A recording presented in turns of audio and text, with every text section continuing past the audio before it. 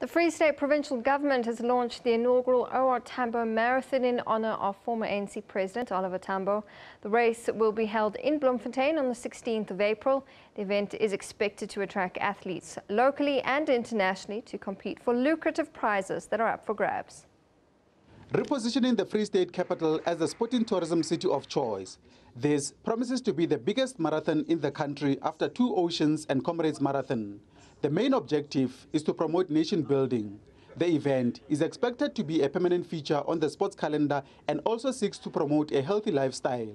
We are inviting uh, athletes to participate, athletes from the province, from South Africa, from around the globe to participate. And we are confident because this marathon is going to be the second biggest after your Two Oceans Marathon.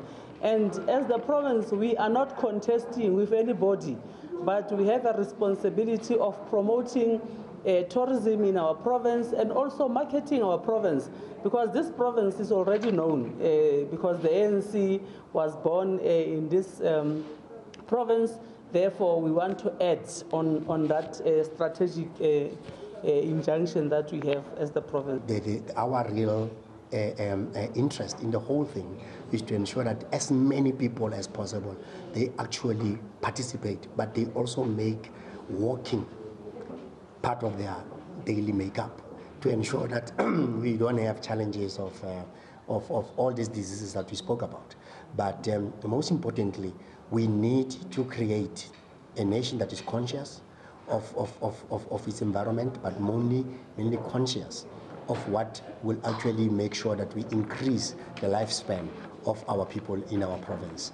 One of the things that we have uh, done as the city, it is to make sure that sports and recreation facilities are improved and to make sure that uh, all those, uh, the youth that is out there is utilizing these uh, facilities. There will be three categories to choose from.